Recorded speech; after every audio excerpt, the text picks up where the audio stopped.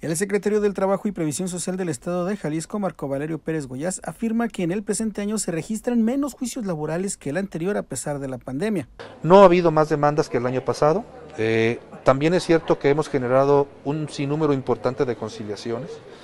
En contraparte, dice que se han ido recuperando los empleos perdidos. Según datos del IMSS, en septiembre pasado se crearon 11.165 plazas formales, de las cuales 4.000 29 corresponden a la industria de la transformación y le sigue la industria de servicios con 3.016, luego la agricultura, ganadería, silvicultura y pesca con 2.643 nuevos empleos. Para noticiel.mx, Juan Carlos Berta Vázquez.